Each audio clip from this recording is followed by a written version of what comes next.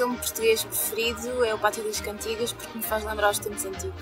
O filme que eu vou escolher é Gaiola Dourada, porque achei um filme interessante ver como é que imigrantes portugueses se adaptam em França e como é que transportam a nossa cultura para lá. É a Zona J pelo estudo da marginalidade. No quarto da Wanda, pelo salto estético que deu através do digital. No filme do Desassossego, a Alexandra Lencastre fazer de centro de mesa em vez de fazer de, de, de, uma personagem qualquer. Coisa que obviamente não acontece na Severa.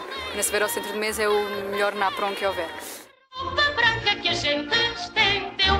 Gostei da Bela e do Paparazzi porque é um filme que mostra a cidade de Lisboa, mostra que a nossa capital eh, tem sítios eh, lindos e que a maioria das pessoas não sabe. Eu gostei da Gaiola Dourada porque trata um tema atual da, da imigração portuguesa. Gostei bastante, acho que está muito bem feito, com bons atores, Joaquim de Almeida e Rita Plano. Acho que para onde for direcionado, acho que foi um, um bom filme e foi uma boa ideia em si. Aquele filme é perfeito, perfeito em todos os sentidos. Curtas brancas, um. Traz os Montes, do António Reis, 76, se não estou em erro.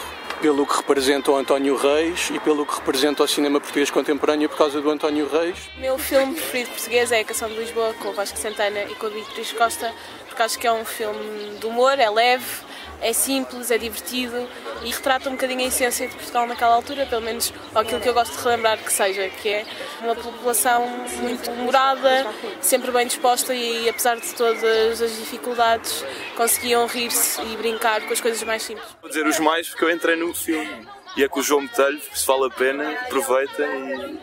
e a cena dos cavalos, quando virem alguém a acenar, sou eu. Vê lá bem tão lançadinho, dormimos nele eu e tu. Vê lá bem, ficou de linho.